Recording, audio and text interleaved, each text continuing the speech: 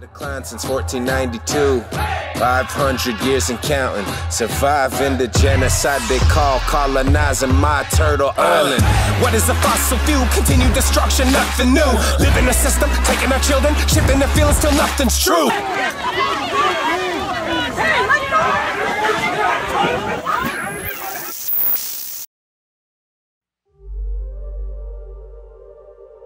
Indigenous struggles are so important. Like what's yeah. happening now in Hawaii. Uh, I was listening to it, and a guy was saying it's not about just this telescope. It is. Right. It's about their sacred mountain, but it's about their right to exist. Right. Their right to define for themselves what their future is going to be. Exactly. Their right to exist in their own land yeah. and to defend their sacred sites in the way they see fit. Right. And what I saw at Standing Rock is when we connect to those struggles, to that truth. Yeah um, it helps us heal from from gang culture and drugs and all these things. And he and he got there and he like reconnected not just with his people but with himself. Yeah. And the broader world started getting inspired too. Yeah. so it was healing us. It was healing the outside world. It was starting this domino effect of positive energy. Yeah. and then what happens? Just like they did with in the 70s and 60s same thing. They came in and they lied. Lied to the public. -hmm so they could justify what they were doing. But really, what they were doing is evil, even though they don't oh, see yeah. it. It's evil. Yeah. You think it's just about money or the rule of law. Right. It's not. It's so much deeper than that. Yeah.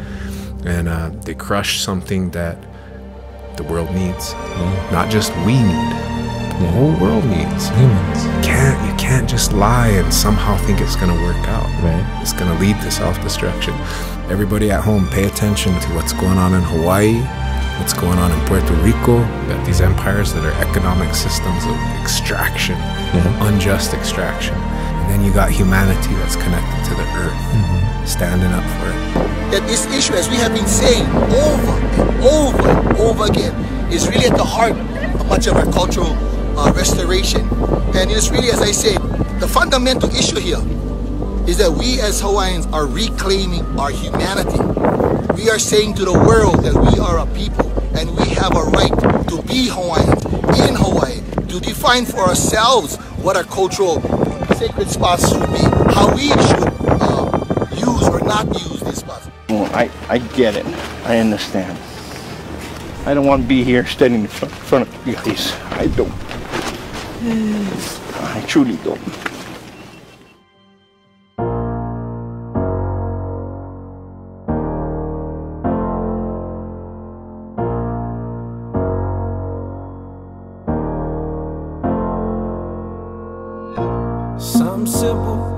What we want, mm, but they don't wanna give how we want to really live.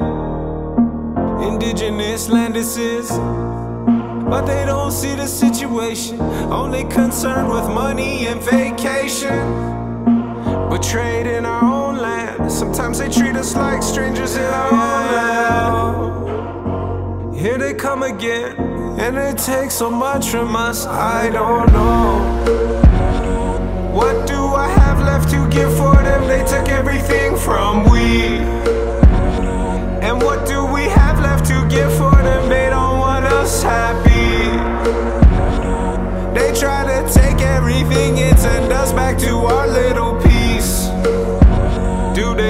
us to be Ever really be free?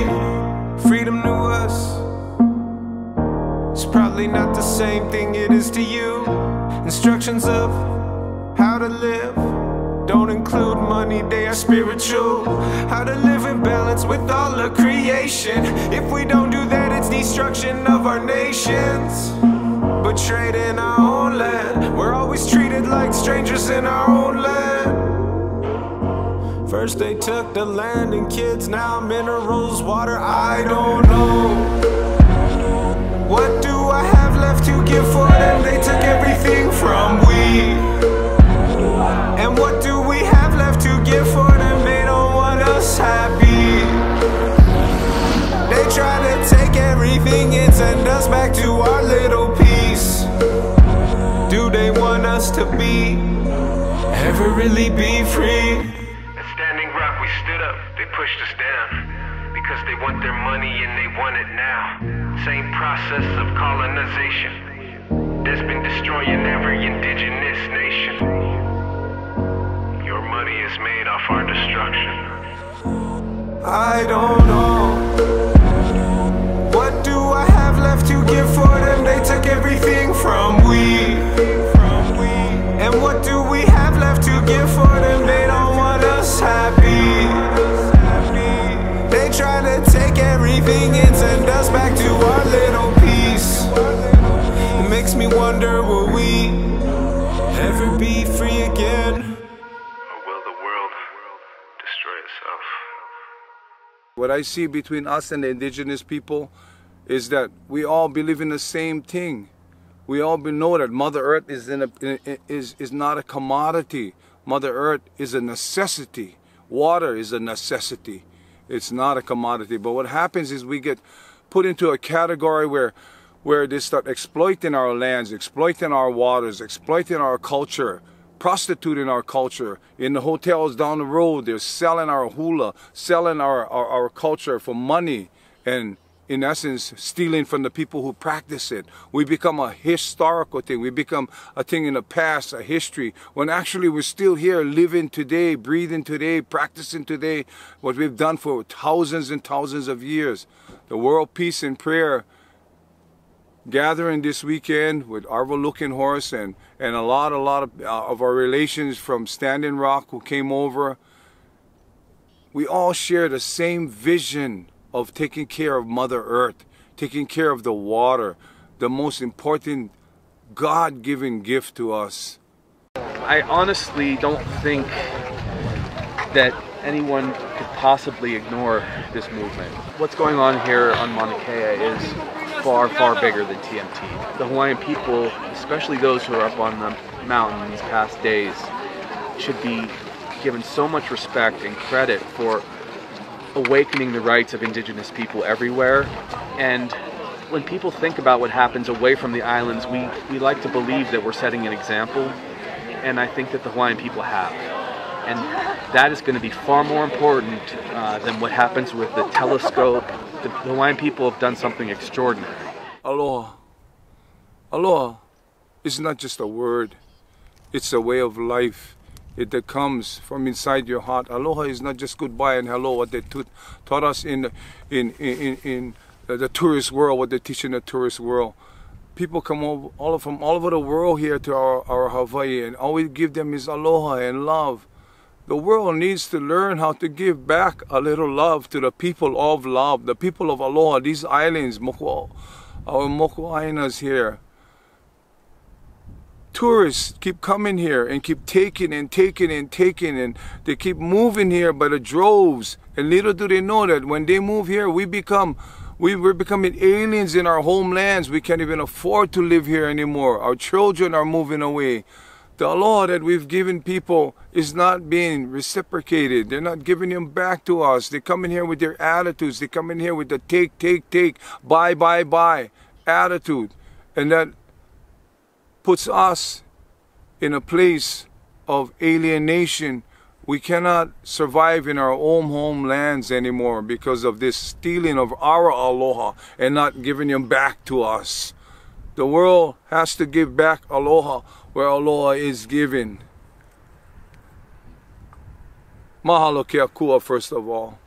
Na'au ma kua mai kala hiki a kala kau. I call my kupunas and my elders from the rising of the sun to the setting of the sun.